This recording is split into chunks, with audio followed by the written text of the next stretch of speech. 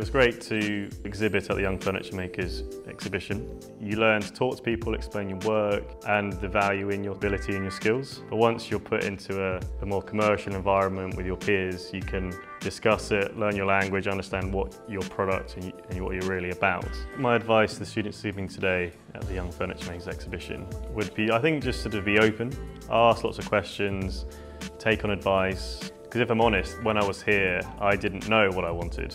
It was just me in my college chair, my Turner Carver. And it was the conversation that started here that went on afterwards that led it to get a design guildmark later on. So yeah, I'd like to thank the Furniture Makers Company.